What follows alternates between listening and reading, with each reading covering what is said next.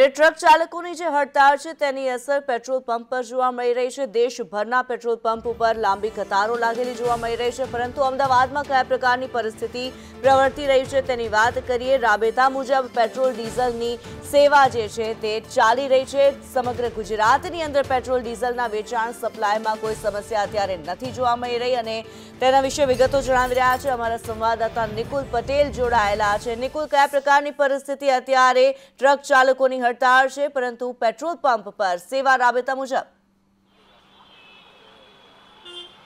જે બિલકુલ થી સરકાર નવ કાયદો લાવ્યા બાદ ટ્રક સંચાલકો જે છે તે હડતાલ ઉપર પહોંચા છે તમામ જે ડ્રાઈવર્સ છે તે હડતાલ ઉપર છે ને તેની અસર દેશભરની અંદર અત્યારે જોવા મળી રહી છે પરંતુ જે ગુજરાતની અંદર જે અસનની વાત હતી કે જે પેટ્રોલ ડીઝલની જે ઊણપ છે તે આવી શકે છે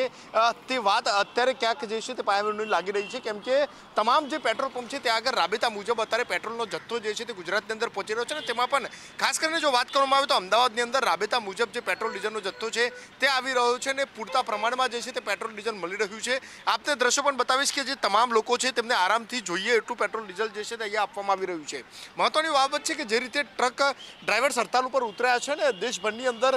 તેનું જે અસર છે તે જોવા મળી રહી છે મહારાષ્ટ્ર સહિતના રાજ્યો છે જે આગર પેટ્રોલની ક્યાંક કમી હવે महसूस થતી લાગી રહી છે પરંતુ ગુજરાતનો જે ટ્રાન્સપોર્ટ સેવા છે તે યથાવત્ છે જેના કારણે પેટ્રોલ ડીઝલ પુરતી પ્રમાણમાં અંદર મળી રહ્યો છે જે ટેન્કરો છે તે પેટ્રોલ પંપ ઉપર પહોંચી રહ્યા છે ને તમામ જે પેટ્રોલ ડીઝલ છે તે પુરતા પ્રમાણમાં સપ્લાય છે તે તર્ક કરવામાં આવી રહ્યું છે હાલના દ્રશ્યો છે કે જે તમામ જે પેટ્રોલ છે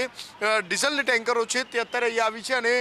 જે પુરતા પ્રમાણમાં જે પેટ્રોલ ડીઝલ જોઈએ તે પણ અત્યારે જે છે તે મળી રહ્યું છે એટલે કે કોઈ પણ પ્રકારની જે અસરની વાત હોય કે જે રીતે મહારાષ્ટ્રની જે સ્થિતિ સર્જાય છે તે પ્રકારની વાત હોય તેવું ગુજરાતમાં અત્યાર સુધી નથી જોવા મળ્યું આપણી સાથે પેટ્રોલ પંપ્સ ચાલકોજી તમારી સાથે વાત કરીશું કઈ કઈ રીતે સ્થિતિ છે ગુજરાતમાં અને પેટ્રોલની ડીઝલની કોઈ અછત ઊભી થાય તેવું લાગી રહ્યું છે આ ડ્રાઈવરને હટાળ લેને પેટ્રોલ ડીઝલ મે कोई समस्या भी नहीं है मतलब ट्रैफिक में थोड़ा क्या है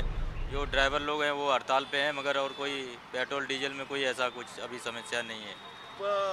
पूरा पेट्रोल डीजल सप्लाई थे રહ્યું पूरा पूरा पूरा हो रहा है सप्लाई બિલકુલથી પૂરું જે સપ્લાય છે તે અત્યારે થઈ રહ્યું છે આપ દ્રશ્યો પણ જોઈ શકો છો કે જે તમામ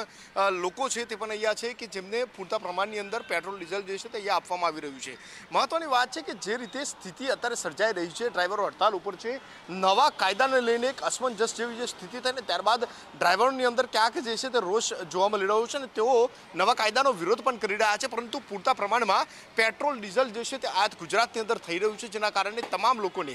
જે જેટલી પ્રમાણની અંદર અંદર પેટ્રોલ ડીઝલ જોઈએ તે પ્રમાણે તેમને જે છે તે આપવામાં આવી રહ્યું છે જોકે અન્ય એવા રાજ્યો છે કે જ્યાં આગળ ક્યાંક હડતાલની જે સ્થિતિ છે તેના કારણે અછત દેખાઈ રહી છે પરંતુ ગુજરાત અને ખાસ કરીને જે અમદાવાદ છે ત્યાં આગળ પૂરતા પ્રમાણમાં જથ્થો અત્યારે પહોંચી રહ્યો છે પૂરતા પ્રમાણની અંદર જે છે તે પેટ્રોલ ડીઝલ મળી રહ્યા છે એટલે કે